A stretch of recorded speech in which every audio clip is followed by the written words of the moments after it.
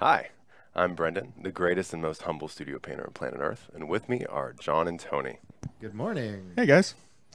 Uh, today I'm going to be painting the Frightmare, well, parts of it. I've already begun on the horse flesh. I'm going to start with the imp face right there in the middle. Dude, I think I love that miniature.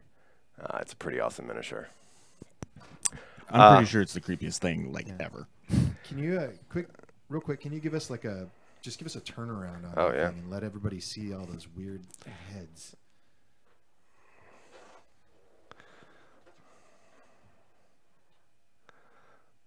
Dude, It's just a whole bunch of heads throwing up a whole bunch of heads. that thing is wicked. All right, so I got some colors with me today I'm going to be using. Uh, I got a whole assortment, but for the imp flesh, I'll be starting with Midlund flesh uh, mixed with Trollblood highlight, and then I'll move on to some Khardic flesh and add some Traitor green. And of course, I'll have the backup of Thamar black, Morrow white, Menoth white highlight. Those are just good to have on hand in case you need to mix them together, lighten up or darken up some color values and whatnot. Uh, Tell us a little bit about why you selected these colors. Oh, these colors. Because they're the ones that I figured out how to paint imp flesh the uh, way I like the most. Um, so for a lot of the Grymkin, we try to desaturate a lot of the palette. Um, so since I'm working with brighter value colors, I'm using Trollblood highlight um, instead of like a Bastion gray or something that's darker but neutral, um, mixed in with stuff just to kind of offset a little bit, make it look a little less lively, a little, little more creepy. Um, and then, but I'm still using reds and greens to shade, which is typical of Flesh. And then the red ink is really going to give it that almost cartoony, characterized, brighten up David the Gnome type look. So, all right. So I'm going to start by mixing together my base color for this imp Flesh, and I'm just using some really bad brushes because I just want to be quick. And for folks that don't know, David the Gnome was also really creepy. Um, so there's no real set amount of. When I mix colors, I try to go for a one-to-one ratio. Um, that means I don't have to like keep in mind and keep remembering uh, how much I used, what the ratio was, because it's always one-to-one for the most part, it makes it easy to remember. So that's just a personal preference of mine. I will add a little bit more Midlund here. All right, so.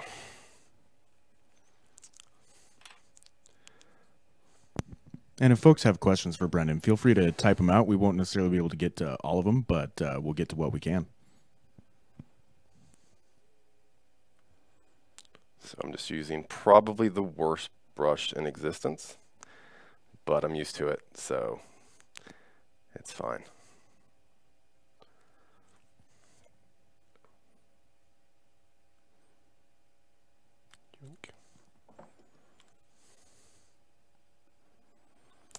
It is kind of awkward painting on camera at these angles, so bear with me.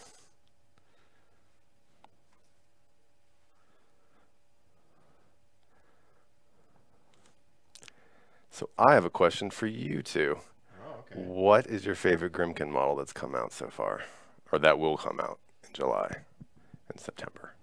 I'm straight up Team Nayslayer. Oh, nice. Yeah, with a with with a close second being the Glimmer Imp.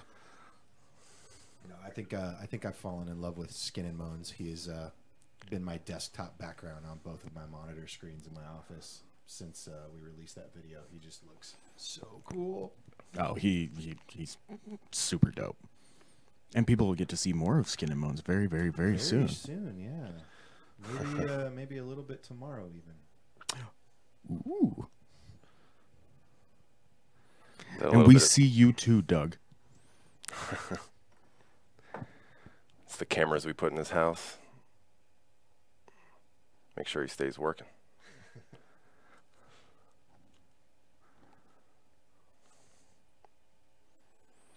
All right, that's the base coat. I just gotta wait for it to dry a little bit. Hopefully this isn't too washed out of an image for you. Okay, yeah, I think we'll be able to see a little better once uh, some of the darker colors and Yeah. get some contrast going.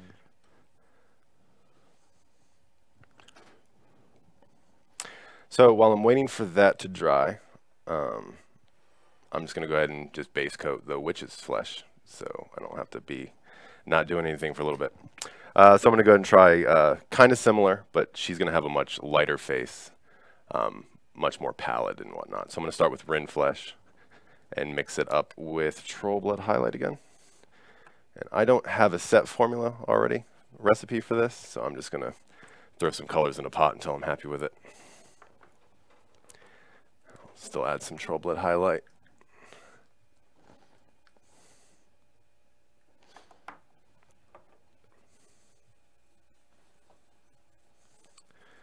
That's a bit dark, so I'm to add some White highlight there too.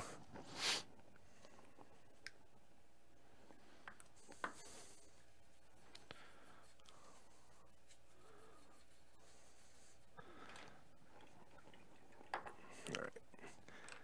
I that'll be good.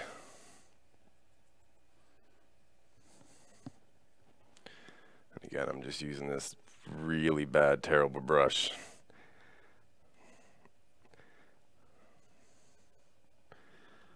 but it's the one I like for base coating, so I deal with it.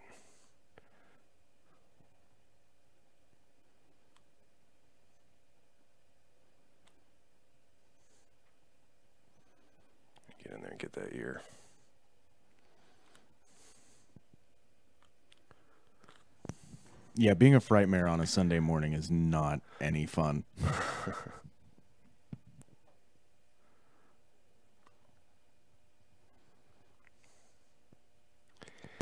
people are talking about it looks like he's having like literally the worst hangover ever. uh, I think this is intentionally the creepiest model we have in our line. It's, if, yeah, it's certainly one of the most disturbing. So unless Matt gets was lying to me. It's there's a reason for it being so nasty and disgusting.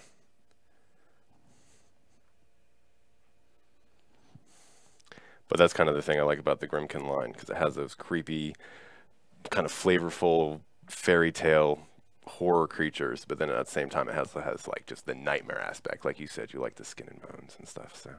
Unlike uh, other creepy aspects, or uh, you know, looking closely at the front claws of the gorehound, the the hands are very people-like on this kind of skeletal, creepy creature. Yeah, he had the uh, Rob Williams hands. Robin Williams.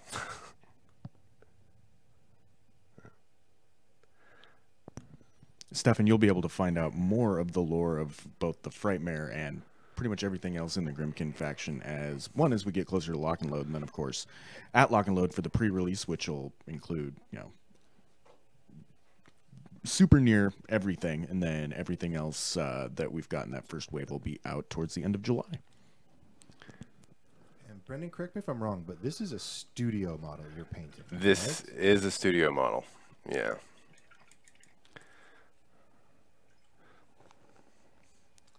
or will be, as long as Dallas approves. All right, so now that is pretty well base coated, but my other uh, my imp flesh is dry, so I'm going to go back and do another uh, layer using two brush blending. So I'm going to mix the next colors. Uh, for the first shade, I'm using Khardic Flesh. Give it that red appearance there. And I'm also going to mix that with a little bit of Troll Highlight. This is one where I'm not doing a one-to-one ratio because I just want to tint it just a tiny bit with the neutral color, but I don't want to overtake it with the gray.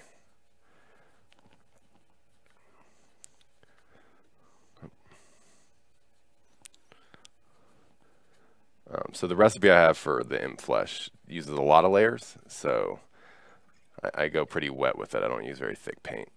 Um, it also has a lot of room for error and just fixing it as you go. So, alright, so I'm just to start like down here. It's very subtle. Hopefully you can see it.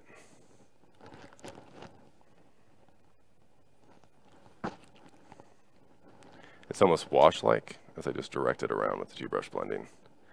That's just one of the great things about two-brush blending is even if you're just using washes, you can help kind of narrate where it settles around in the miniature really easily.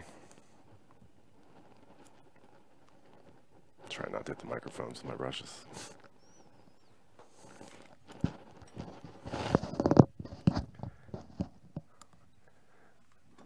You didn't see it, but Tony's hand was really close to my mouth just now. oh, microphone adjustments. oh, that's what it was.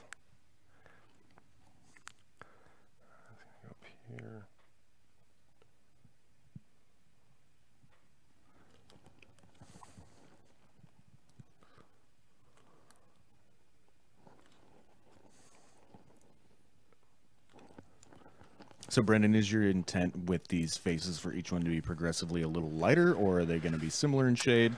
Um, well, it's not necessarily my intent. It's I go off a color concept and kind of have a little bit of leeway between those. Um, but imp, imp, it's she's, it's a horse head throwing up an imp.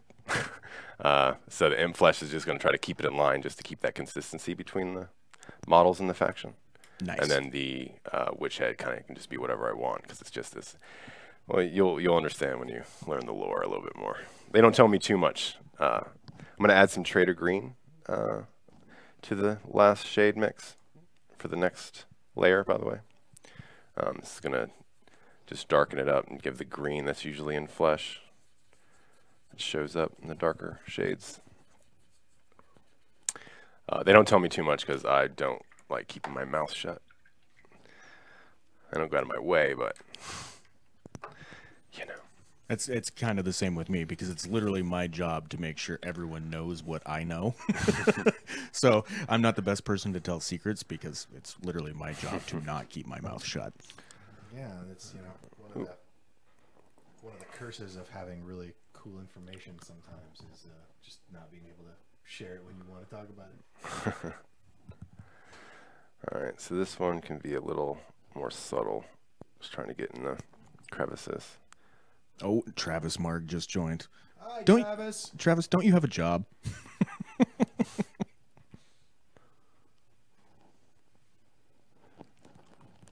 Jeff wants to know what kind of beard oil you use, Brendan. Um, I don't use any beard oil. Is that something I should look into? What what exactly does beard oil do? I don't know. That's why I don't use Well, it probably. for people who don't have beards as majestic as Brendan's, it can be used to, you know, strengthen condition, kind of like, you know, like taking care of your hair in general. But gives it a nice healthy shine. I focused all my genetic energy into making sure my beard looked good. That's why I don't have a hair on the top of my head. So it was just, it was just, Fair trade. Fair yeah, trade. yeah. Been rocking the uh, late '90s scruff for so long. I uh, have a beard, but don't know what to do with it. Beard oil's a new one to me.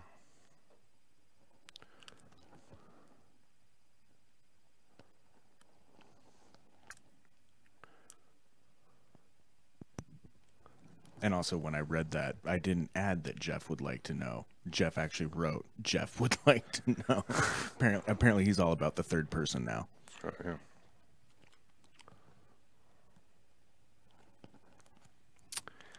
Um, so that is subtle, but it shifts enough for my liking. So, And then, Brendan, is that a resin model?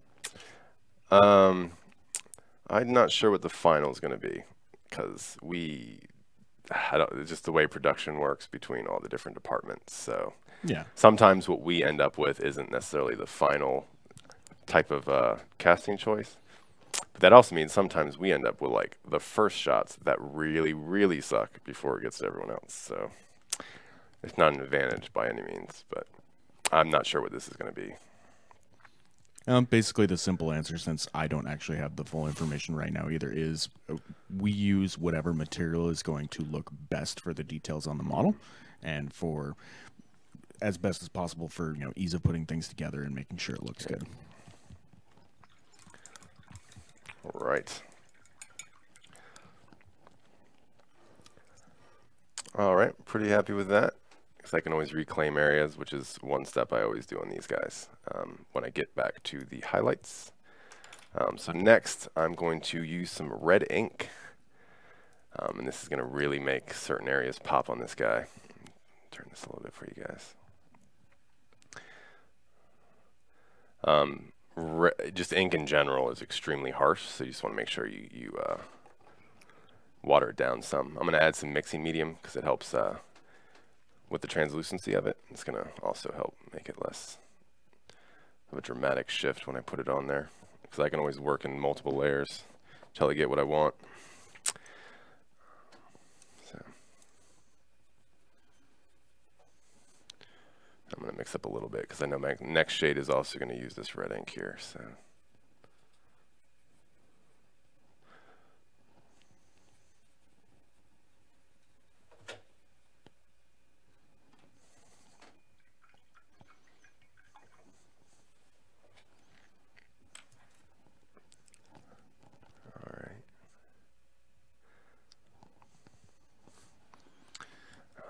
just use my hand real quick to kind of test the translucency. If you can see it, I'm not sure. Nope, too washed out. I'll go back. Anyways, trust me, ha it happened. so this I'm going to use still kind of like a wash. Make sure I get around the eyes the redness. And so with this, you're just trying to add a bit more color into the flash? Um, I am, but I'm trying to also like, while while it's going to be a subtle shift, I'm still trying to go for like that almost cartoony, super red, um, since they're more of a fairy tale creature for the most part. Because um, that was the type of stuff I was exposed to growing up, art wise. So, trying to bring it in. And then, Brendan, the mixing medium, does it also act as a binding agent between the ink and the water, or is it purely just for the added translucency? Um, I don't know the exact way it works. It is magical, though. Um, it it helps keep pigment um, together, but it will also make it more translucent. So if you just add it directly to paint, you'll notice that the paint will become uh, less opaque. Less opaque. I was going to say more translucent, but then I would have said that a couple times in a row. So um, I talked to a couple of people about mixing medium, and it sounds like we all use it for different things. So use it whatever, with whatever experience makes it work for you. But um, if I end up with like chalky paint, I'll add mixing medium and that helps out. So I guess it does help bind it a little bit um, for sure. And then if I just need it to be uh, smoother, um, glide on, like it's great for washes as well. So. I've seen Dallas use it to um, he uses it instead of glue on his base. Uses mixing medium to lay down gravel. Yep, we do that for uh, our studio models here. Back to the front here. So you can see it's tinting this pretty red. Um, which I will come back to. So painting for a studio model is it's definitely different than painting a tabletop or even competition level because we're trying to paint to a specific angle of what we think the uh, photograph is going to be. So hopefully some of this translates for how people want to paint their models. That's, uh, that's certainly something interesting to talk about. What are some of the the more specific challenges that you have trying to paint a studio model versus something that you might paint for yourself? Um, well, the camera definitely picks up things you wouldn't expect. Um, so if you get your model uh, professionally photographed, particularly in our particular light box and the cameras we use, um, you might see certain things look way better than you thought they were when you painted them originally. Um, I'm going to add some Cryx Bane base to this red ink now. Um, but then some things you thought looked good, like your metal, then wash, then maybe a highlight, will not look good on a studio model uh, under cameras and, and whatnot. So it really just changes um, how you need to paint. Um, and not even necessarily that you need to become a better painter. You just need to readapt to it. Like that's definitely something I had to learn. I'm still learning. I mean, we're still learning how to paint. I don't think you ever get over that because um, because the camera has a different eye than a human eye. So what it picks up on, what you got to learn how it reacts to colors with the light bending off of it and stuff, isn't something normal people need to worry about when you're painting a model. Um, which is why sometimes you might paint something and someone will be like, oh, that looks way better than your photograph. You're like, yeah, that's because the photograph doesn't help it out because your human eye is worse than a camera. yeah, because you painted it with the eye. Yeah. Now you're looking at it with an yeah. eye. Um, but uh, as far as like techniques are concerned, we use all the same techniques. Um, we use obviously two brush blending because it's just faster. But at the same time, we're worried about kind of figuring out where we think the uh, photograph's going to be. So I'm twisting this guy around because I'm trying to simulate like how my eye would do it. So trying to figure out where the highlights would be. On this guy, I kind of feel like it's going to be something like maybe this, just because the silhouette kind of shows off the tail a little bit. The angle's cool. You get a good view of all the heads and faces. Um, but sometimes I'm dead wrong. So I'll paint for this angle, and then all of a sudden it'll be like this, right? And it's like, uh, okay, that's cool, but the paint job's not going to look quite as good. I mean, I messed up. But that's my fault. That's not anyone else's fault. That was just, I guessed wrong. But I'm pretty sure it's not going to be like this just because of the way she's tilted and learned. I, I, I, can almost bet money she'll be like this. And I'm gonna have to pay people to make sure it's like this just so I don't sound like an idiot when this goes live and all the videos. But anyways, uh, so that's just another part of studio painting that's just you never have to worry about or concern yourself with normally. Um, well, that certainly looks like the pose that uh, that I would go with naturally as well. Yeah, I'm hoping. I mean, it shows off everything. Like I said, it's just a good silhouette too. So. Um, so now I'm going to go back with this red ink with a little bit of Cryx Bane base just for the deep shadows here. Um,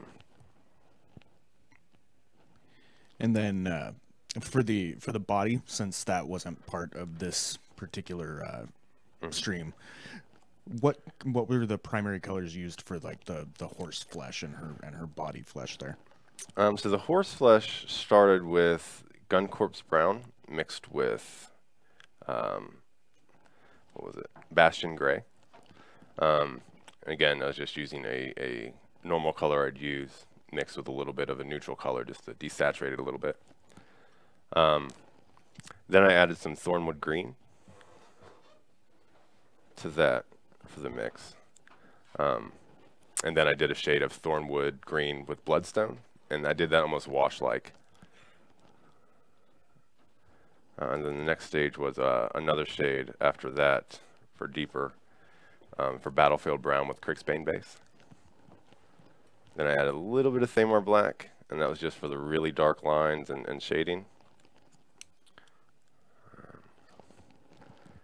and then I went back to uh, highlight just with the base color, and then I started adding Thrall Flesh and Menoth White highlight. Nice, looks good. Um, so you were talking about how you know when you're painting the studio models, you're painting for the camera. Do you ever take test shots like with your phone camera or something else just to see if you're think you're on the right track, or is it all just done by eye up until that point? Um, it's all done by eye because um, it's uh, there's a couple people involved in what the final shot's going to be, so it's still really hard to determine. Um, but that's kind of just what the training and practice is. Um, like I hadn't even seen a final shot for the first couple months of working here, so I'm like painting studio models without any real idea of how the what I need to improve upon for the camera and all that stuff. Um, that's trial by fire for you though. so. Not counting this model if it's the case, but what's your favorite model you've painted for the studio so far? My favorite now that it's over with probably the sea king. The sea king is dope. That looks um, amazing. Um, yeah. It, it, was the first week and a half was fun painting. And then i got to all the barnacles and that was uh, it's not the mass amount of barnacles it's just the studio quality necessary for those barnacles was uh, was an ordeal was a trial. Was it just a lot of tedium just over and over? Right yeah. Same thing.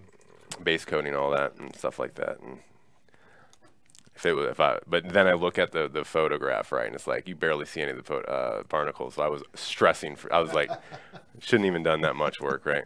On, on the hidden ones, like under the the tabard, the and all that.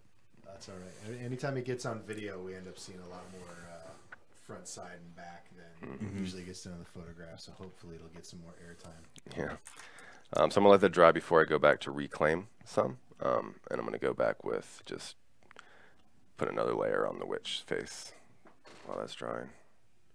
Which one was your first studio model? Uh, the Lith Healer. Oh, right on. Yeah, that was my that first model. like official studio model. I came in, I had to paint a uh, a mule, which was fun, but you had to learn two brush blending and all that. So, um, but that wasn't a studio mule, mule. That was just practicing on a mule and then stuff happened, and then they needed me to paint models immediately, so jumped right in on the list Healer there. So. Jeez, that looks gross. I hope so. But like in the best kind of way. Like, yeah. Every every layer he adds is creeping me out a little bit more. the like- exciting, creepy, gross. one. yeah, like Yeah, I can, I'm really anxious to get all these little pustules right here Oh yeah. and just make them like nasty zits that haven't pot. Like you, you can see the back here. It's got I think four of them as well. Yeah, it's really disgusting. and then when I'm completely done with all the, the layers, I'll go back with red ink and like put it around like just the redness in, in the hands here with like the horns. I guess they're hooves that turned into claws to make them look like they're still bleeding, and then put them around all the pustules and stuff. I think it should look pretty good. So. all right, I'm super go back to- gross, So what super colors are you using right now? Were you just base coating the? Uh, Um, now I'm- again? Uh, yeah, I just base coat the wrist, uh, the witch's face again, but now I'm going back with the base coat color on the imp to just reclaim some of the areas since I used a lot of like heavy washes and stuff like that. Even though they're subtle, like they're still. I think I need to reclaim a little bit here before I go onto the highlight layers. And then when you and Dallas are, are kind of dividing up which models, which is painting, do you either of you like exhibit any faction bias on which ones you paint? Like, you know, like him doing Khador, you doing Rhett, so on and so forth? Or is it just uh, what how much do you get to choose which models you're painting? Um, generally, we just put it on a board and then we play a game of Warmachine. Whoever wins gets to select the next model, or we have like a little studio painter fight club that we. Uh, no, uh, that's brutal. yeah, it's a lot of fun. Um, so my face is still pretty and not scarred. It's why they're neither, ne- neither you or, or Dallas have hair, so no one can grab onto it. Yeah, yeah, yeah. Um, it, it's kind of just whatever comes, whoever's painting what. Because sometimes models take a long time and sometimes they don't. Um, so I don't think there's particular. Like I know there's certain models Dallas wants to paint coming up. Um, I don't care so much. I mean, of course, there's like a preference, right? Like, of course, I wanted to paint the Sea King. I love trolls.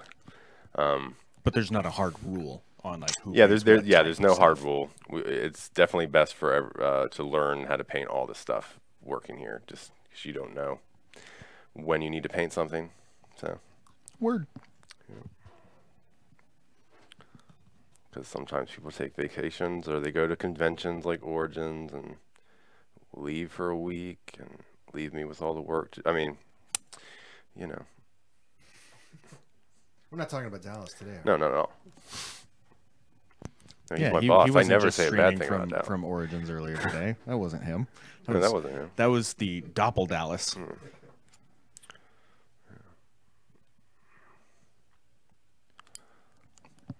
So I'm just using this to go and uh, do all that reclaiming.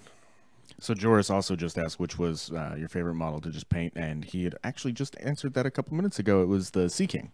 Whoa, whoa, whoa. Now, now, now. I said that was my favorite model that I painted, not to paint. I think those are two different questions. Well, she said as a studio painter. As a studio. Well, I just meant like, I love my finished work on the Sea King, even though I still see things I should have done better. But I think that's always the case. Oh, okay, I see what you're saying. But yeah, that's the final Ah, part. okay. Sorry, sorry. Uh, That's the one you had the most fun with. the most fun. Uh, I'm trying to think. There's been so many at this point.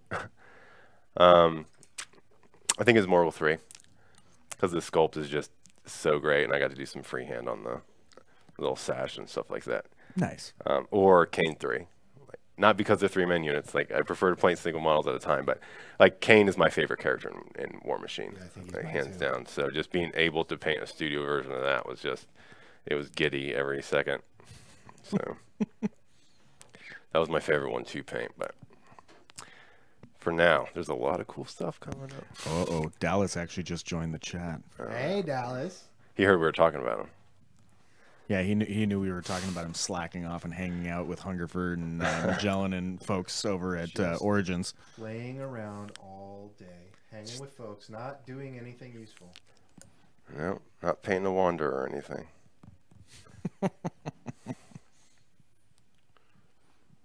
um, I have to do a lot more reclaiming than I thought I did, but it's just a part of the process.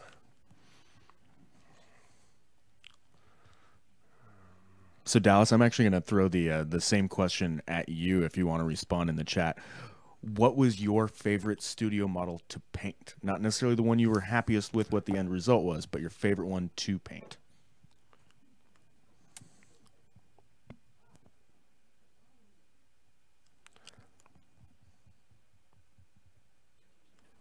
So, um, tell uh, Brendan, just in case uh, people don't know, give us a, a quick recap of what reclaiming is. Um, so reclaiming is kind of just going back over with your base color. Um, normally, if you do a base coat wash before you do, you, uh, even if you do that, like that simple method, you still probably want to go back with your base coat before you move on to your highlight, and that would be reclaiming. Because even just a, a base coat and then a wash will uh, want you to, because it'll tint the base coat color. So when you go to the highlight color, you lost a lot of your base coat color, depending on how heavy you used this to wash.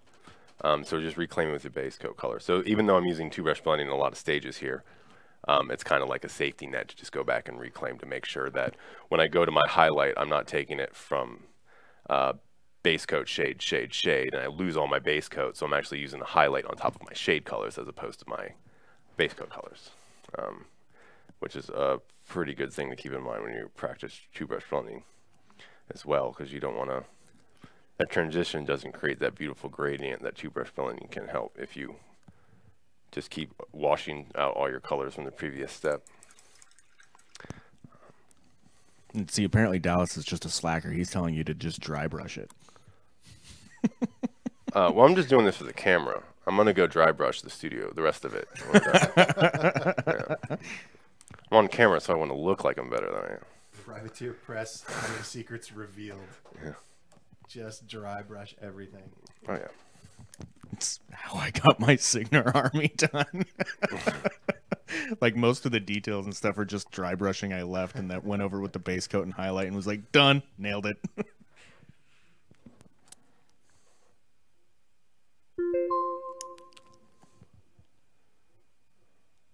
Yeah, this face is so good. I'm also painting the madcaps right now, and they're just so much fun. oh yeah. Yeah, they look really cool. They got a lot of cool little details. So I was debating between them and this guy, which I probably shouldn't have said because now people that want the madcaps are gonna get upset at me. But deal with it. I'm fine with my decision. Bring any to show us today? That's mean. Huh? What they just released the uh, solicitation shots of the non-painted ones. So It, it's okay. This this this frightmare is legitimately super creepy enough. oh yeah.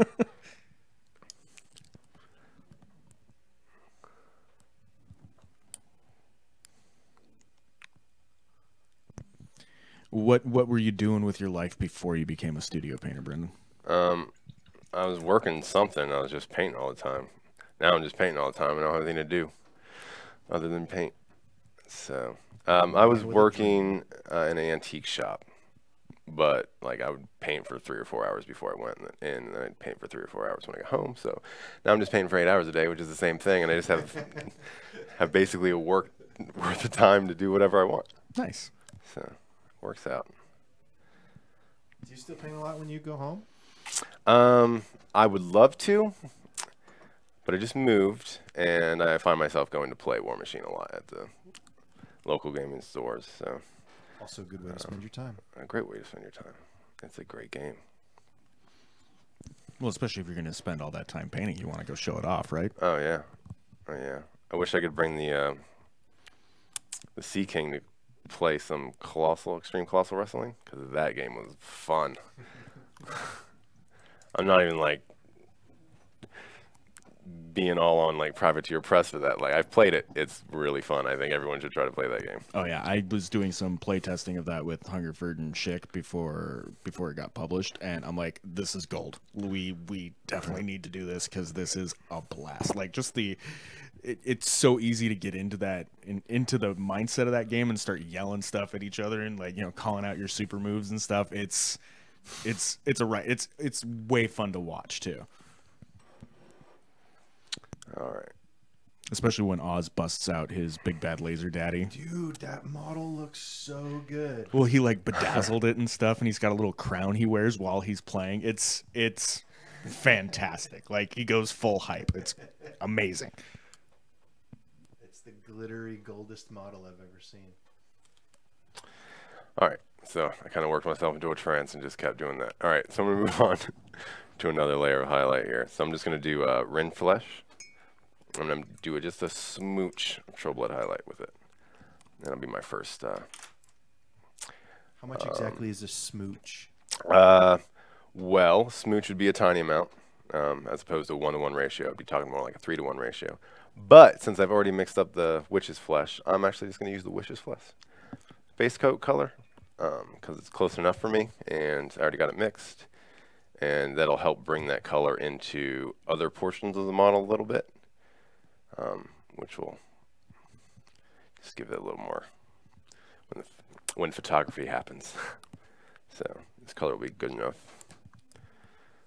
Because, I mean, it's a flesh tone. Flesh tones can be similar, but they don't have to be exactly the same. Even It's not like painting up a Khador red or Cygnar blue, where all of that should be pretty much exactly identical. Like, you have more play with flesh tones, which is probably why I enjoy painting up um, models with lots of it.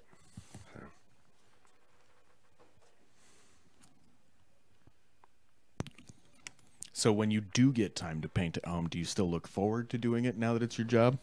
Oh yeah, oh yeah, for sure. Like I have a uh, conver- uh, Cephalyx conversion army I'm doing with monstrosities using uh, the child's uh, beast that comes up with her. Um, using a lot of those, so I'm really excited to paint those up, which I'll probably actually do at Lock and Load. I think I've seen some of those on your desk. You adding like a lot of brass, brass wire and rod for different pipes and stuff. On Oh it? yeah, trying to just like a different pose, but definitely trying to make them look as much like monstrosities as I can for sure. Yeah, they're really good looking. Um, but I do, I love painting, so. So you're going to be painting those up possibly at Lock and Load? Um, probably. I'll have them on my, my desk for sure, wherever I'm at. July 14th through 16th at the Meydenbauer Center in Bellevue, Washington. Get your tickets at pplockandload.com. Yeah, all that.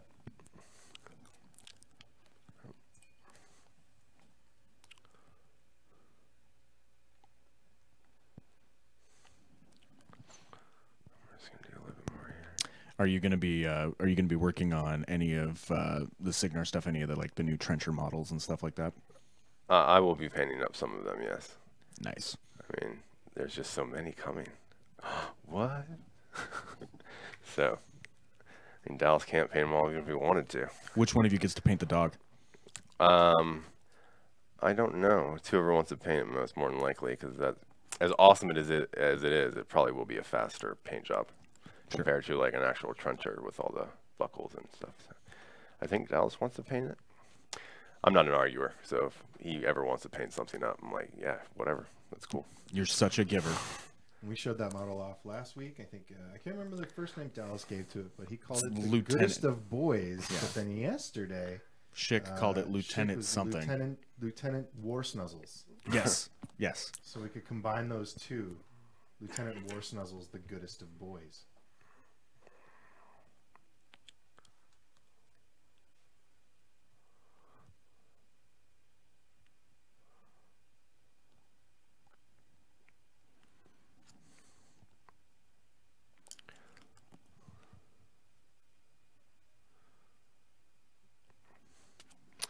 Right, so I'm going to divert from this imp face real quick.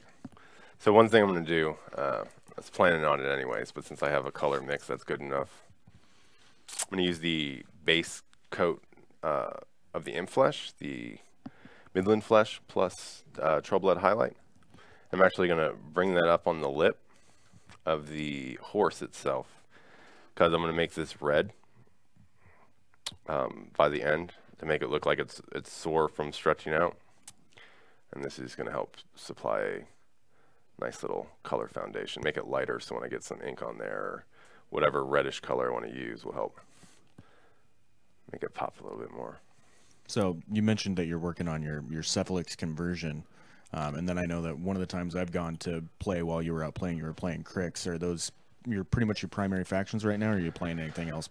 Um, I play or have played every Warmachine faction. I love them all so much. I'm resigning myself to play Mercenaries. Just Nice. because, from the painting perspective, it's almost like playing multiple armies in one. So if I want to paint up something crazy, Cryx like, I have the Cephalyx. If I want to do something, you know, then then if I'm tired of painting all that stuff, I can switch over to like my dwarves with all their jacks. And then if I'm tired of painting jacks and armor, I can switch over to pirates and cool tattoos and stuff like that. So which is normally what I do anyways, but I have to sh- jump factions for it. So it lets me just stay in that one faction and do it.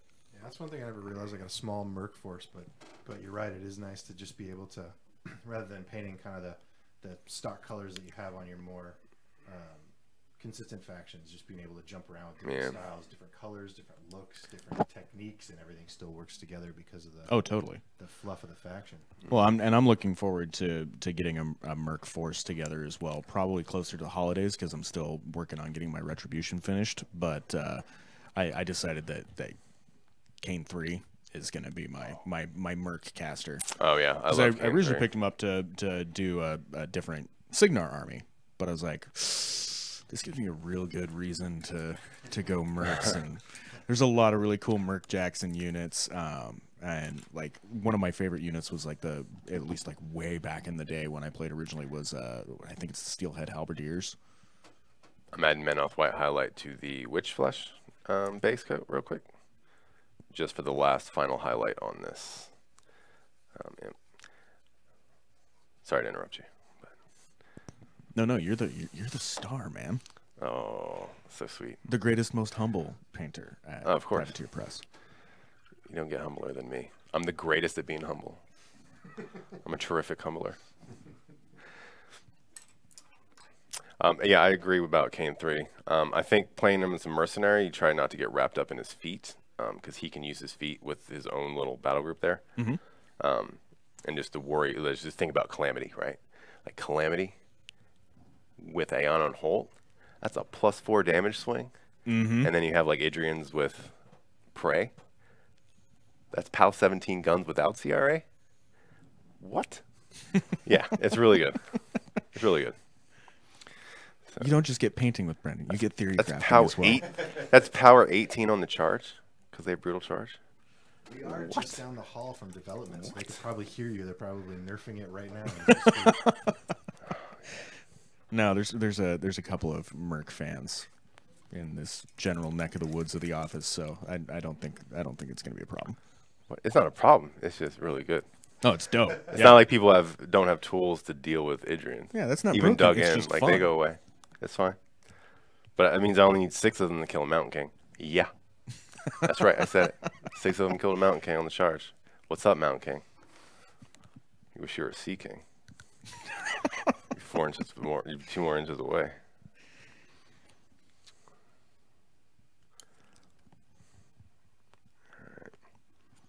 Yeah, I haven't decided what's gonna make up the, the the rest of the bulk of my units for that army yet. we- Still still trying to. Well, I highly suggest a Figured that Why? Because he's POW 21 on the charge when he's within six inches of Caine 3 with all those buffs. What? what? It's fun. It's a lot of fun. And, you know, you get Shield Guard, which is huge because uh, Ryan and Watts like dying. Sure. It's their thing. It's what they're really good at. How do you feel about Croe's Cutthroats? Um, depends on the caster. Um, on their own, in faction, yeah, they're right, I guess. But like in, uh, I really want to try them with Magnus 2. I feel like it gets some mileage, Yeah, yeah. But I feel like you have to work so hard to get that to work that it, it's not really worth the investment. Like that's the thing. I I don't like having to. I don't like my my opponents having say in how I need to interact with their army. I like building armies where it's just like I'm doing this if you like it or not. So deal with it, or give me a problem that I can't answer. Um, so I would I would like to do a Dominator and Cephalyx with them, just because you know Thexus TK and his feat Yeah. means I can easily choreograph that without even worry about what my opponents are doing. Because I ran Croe's Cutthroats with uh, Scaverous when I was playing Cryx a lot. I just have Um, really fond memories of painting them and like making each one of the the guys in the unit like unique. Croe's awesome. Like Yeah. Croe's great. Like I ran him with Caine three just for sh- poops and giggles, and uh, uh, I got behind Feora three and Croe just shot her in the face, and he didn't do much damage, but she couldn't cast spells, and I don't care about your feat, Feora three, if you can't cast spells. yeah, I said it. And right now, are you just trying to reclaim and pick out details, or I am not reclaiming. I'm on to the the first real highlight layer. that's what I meant? or highlighting the and second picking out highlight layer. I'm details. sorry. So yeah, I'm just just making some. Uh, hopefully, you can see some of it. Just some details here. So his face is a little more stark, but he's sore. You know, he's puking up a woman. So right. and Jeff, actually, I can answer that question. One of the times I was there uh, playing when Brendan was, I know that Aaron beat Brendan. So there's at least one person who can do it. people beat me all the time. Like I have, I have, I have this kryptonite. It's new players. I can never beat a new player. For some reason, I'm teaching the game and I can never beat them. It's, I mean, I try really hard, but so, um, and then normal people beat me as well. Yeah, I think it's some sort of unwritten law if you're uh, if you're new to the game that uh, Yeah. you're gonna win against an experienced player. I lose games all the time. Like the less familiar I am with the list, the less likely I am to lose it. But then I get comfortable with the list and I stop thinking. My brain just shuts off. Then I start losing. It's like, ah, maybe I need to do something else, like paint, right? so, which actually is also something that happens when you're painting, right? You get used to painting a very specific way, so you just keep painting that way and that way. Um, so, to kind of go back to painting, it is good to always try something new and different when you're painting. I think, um, just so even if you're not like definitely if you're not comfortable with it, because you're never going to be comfortable with something if you're not trying something new, right? So in game or in paint, just try something, just experiment, mess around, get outside your comfort zone, because that's what's going to push you to be better as a player or a painter. What uh, so what are what are like maybe I don't know two or three top tips or techniques that you think um, will will really elevate somebody from um, maybe kind of a, a beginner I don't want to say tabletop but a beginning standpoint to the next level of painting. What are, what are things that people can focus on? I would really work on two brush blending um, if it's something you uh, are willing to give a shot. Just because I used to paint um, base coat wash, base coat highlight. So basically three colors, right? Um, and then as I kept painting, I tried to get better and better with my next miniature. Um, I would just add more layers to certain certain areas. So like I'd paint um, base coat shade shade or wash wash, just a deeper wash, and then you know highlight, and then do another highlight layer. Um, but what one thing I started doing with my washes when I was using it was I was actually doing two brush blending without even knowing it. Because like just like the washes I did on this Imp Flesh, which were so thin, they're basically like washes. Um, I'm just gonna give an example. I'm not. I don't actually have paint on my brush, but I would just you know do a wash right like that on like something, and then I come by and I just swipe it away. And it's a, and a, at the very basic, that is what two brush blending, like the concept of it is, and that would uh, separate the shade from the or the the wash from the base coat, and I didn't have to reclaim all of a sudden, because it was it was giving me that separation. Um, but I, then I started moving on to wet blending. If you've ever done wet blending, it's a nightmare. It's a frightmare. Frightmare. Um, so doing two brush blending from wet blending, oh, oh, never, never do that jump. That's working. That's the opposite way. Do do two brush blending first and practice it. Um, but uh, just more layers. Just try to add more layers. Like if you want to be, be better, just more layers. I mean, you can practice brush control. I mean, that's always a big deal. Like coming here, I was relying before I came here. I relied on uh, my dark lines and my black lines are basically just my deep recesses of washes, which is probably what a lot of people would do. You're like, oh, it gives so much good definition. Well, that's what it's doing. It's basically dark lining for you. So if you look at my first model, the Lith Healer, I'm calling it out.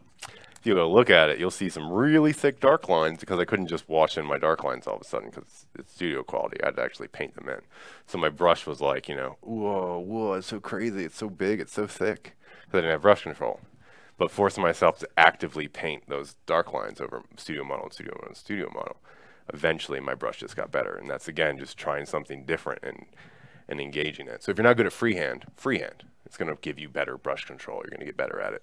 If you don't want to waste your time on a model, you know, you can just do it right here, right? And just do like some lines, just keep doing it until you get thinner and thinner and thinner, and then eventually you get so thin that you're like, all right, I'm ready for whatever. And that's going to help with your highlight layers and your eyes and all that stuff. So just engage the way you paint.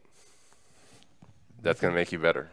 We got a brush control video with you talking about uh, these techniques specifically, and uh, Do we? in, in the hopper for one of our upcoming videos? Yeah, That is true. Oh, I had no idea. I'll be happy to record that with you. So if you're curious about you know like that technique and some of the other ones that we've uh, that we've already covered or will be covering in some of our uh, future uh, P3 hobby videos, you can always check those on YouTube.com/slash Privateer Press Prime. And then yeah, uh, Joris pretty much had it close. Uh, what Brendan's got uh, for holding the model is he's got a cap from a can of primer. And he's got some double-sided tape that's holding the miniature to that, and then the cap is resting on a mic stand. Um, so I don't suggest the mic stand if you're at home. That's something that I, I make the painters do so that we can keep the miniature in focus for the cameras. The mic stand is not really the necessary piece of Focus-ish. equipment for Yeah, yeah. painting at home. Um, No, but the- the definitely cap the cap and the double-sided tape will it just helps tremendously. Because then you don't have to, or at least minimally, you touch the model, um, which will help not wipe off paint. Uh, so I'm going to, I'm done with that. I'm happy with that for now. I mean, I might go back and do more touch-ups, but that's going to depend on other colors on it, bringing in around it. Um, right now, it's pretty red, which I'm not sure if that's going to be the final result yet, but I, I kind of want to bring more colors in before I go back to it. So, um, so now I'm going to move on to the witch face, which I've already base coated once, but I'm going to go ahead and just, um, oh, nope, still solid. So I'll move on to the first shade, um, which I will try with. I'm not sure. Let's just let's figure out something out. Uh, we'll do some Trollblood highlight, I guess, because I know that's going to be in just just a little bit. Um, I'll add some Carnal Pink maybe. That'll give some of the redness, um, but while keeping it still pretty light, because she's supposed to have a pretty pallid flesh there. So, um, but that's going to be too red. So I'm going to work in some. Let's see, maybe Midlund flesh. Oh, that's that's Ryn. There you go.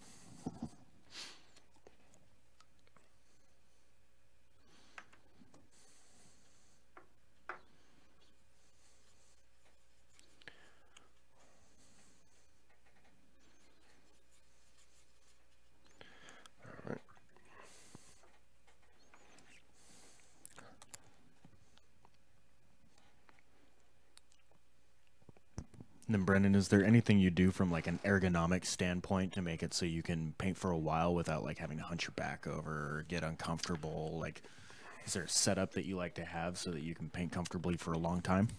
Um, yes, it is called a standing desk. I'm currently sitting down, so I'm also trying to adjust to the fact that I am not standing because I'm so used to painting while I stand. But within the first couple weeks, I knew that I had to switch to a standing desk because that's what Dallas would, would had. Um, just because long-term painting sitting down, because long-term sitting down is not what, not a good thing generally. So, um, but that helps because I can like stretch while I'm painting or kick out my feet or walk in place if I, you know, something starts falling asleep or something.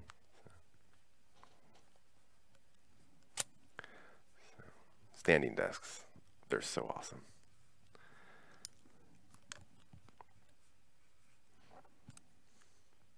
If somebody doesn't have a standing desk or uh, that's not an option for them to stand up at home, are there the things that they can do sitting in a chair to avoid hunching over for long periods of time and getting, uh, you know, various aches and sores that way? Not that I'm familiar with. I mean, I would if you're going to sit down for a long time, invest in a good chair. I mean, that's that's just how it's got to be. Um, don't buy a cheap folding chair just because it's as cheap as you can find. I mean, it's your comfort and your health. So Well, and realistically, they're also going to run into situations while they're painting where they need to let a layer or two dry. So hmm. that's probably a good time to stand up, walk around, Stretch stretch yeah. out. Yeah, that's kind of what I did. Like I painted a lot, but sometimes I'd also plan whenever I couldn't paint to just do like a 15 minute spurt. So I like if I since I painted with a lot of washes, I would make sure a wash was applied and I could walk away. So I'm not even waiting for the wash. I'll come back in the evening or whenever else. Even that 15 minutes of like I only have 15 minutes to paint, it's not like I can't do anything. Yes, I can. 15 minutes I can definitely find something to do. But I'm I'm very meticulous like when it comes to my painting just in the sense that like I plan out what I'm going to paint um, when I'm going to paint and stuff like that before I came here. Um, I mean, because now that I'm here, I know I'm painting for eight hours, so it's easier uh, to plan stuff out. But like when I was at home, I'd kind of just be bored at work, sitting there waiting for customers to come in. So I just like get a piece of paper and kind of plan out my, how I was going to go ahead and paint.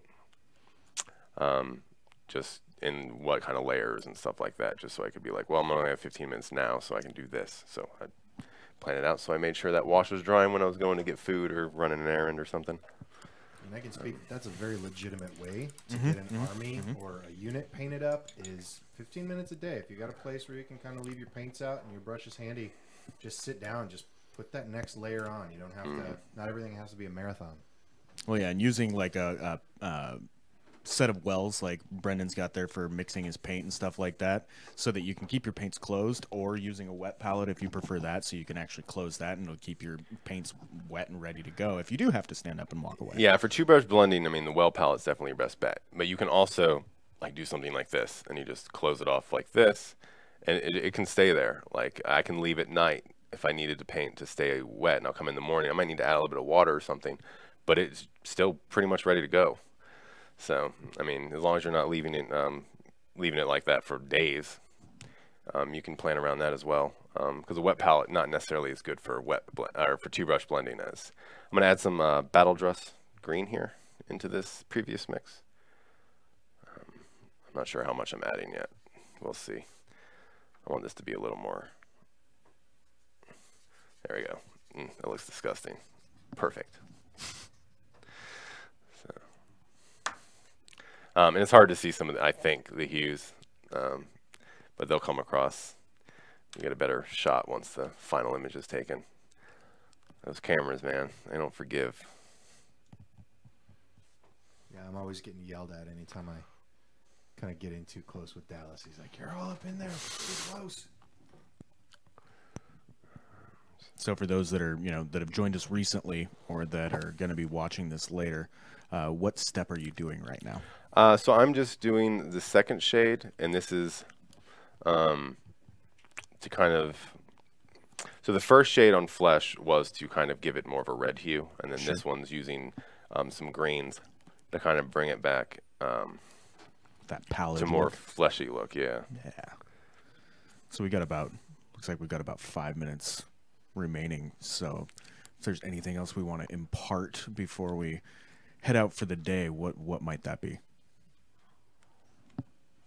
Have a great day. Well, we've- still got a little bit of time. I was just mentioning it so that, like, in case there's anything you wanted to make sure to get across while you're, you know, doing these faces.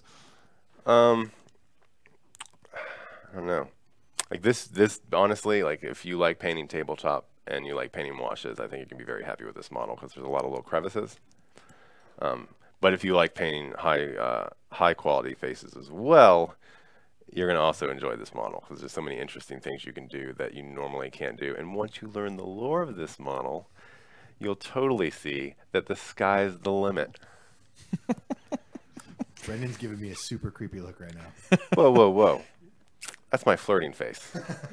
Like you said, a super creepy look. Um, so that it. that actually leads uh, pretty well into Joris's next question, which is uh, so you're using a lot of you know like what some people would consider merc colors in these skin tones.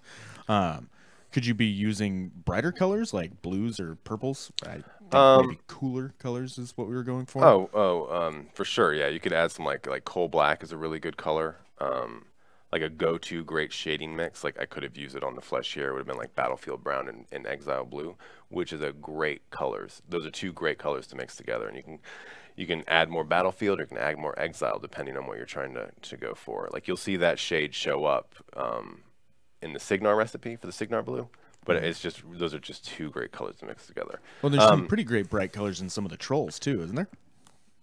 Um, yeah. But to go back to what you were saying, um, Traitor Green isn't necessarily a merc color. Um, it's just a, it's just a shade that we have access to that we can blend together. Like P3 colors are just really good um, once you start experimenting to just mix with with themselves to kind of figure out other colors.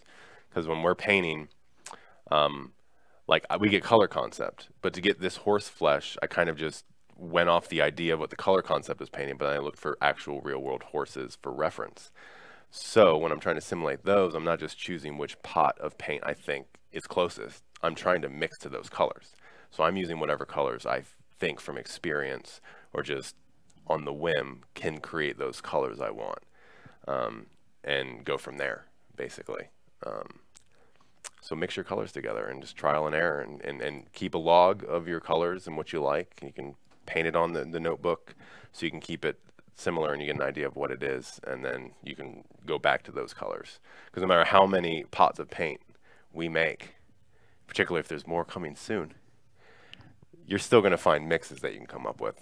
Um, and that's going to be your colors. Like if you look at the best paint in in the world, it's not because their technique is sound. It, it is, trust me, they are amazing techniques, but it's their use of colors that's really bringing those models to life. So you need to do more than just use straight out the paint pot if that's what you're trying to get to. Which also goes back to what you're saying. If you're trying Yeah. to elevate your painting, you just need to work on color.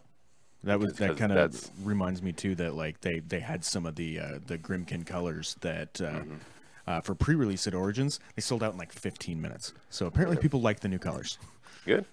They should, because they're really awesome. Um, so that's all we're able to paint for today, unfortunately. Um, there will be more coming soon, as you should learn to expect. Um, So far every Thursday, I think we're gonna keep that going. that would be great. Keep it going. Keep showing up, and we'll keep showing up. Awesome. We'll hope to see you soon. Take care. Thank you for watching. Bye.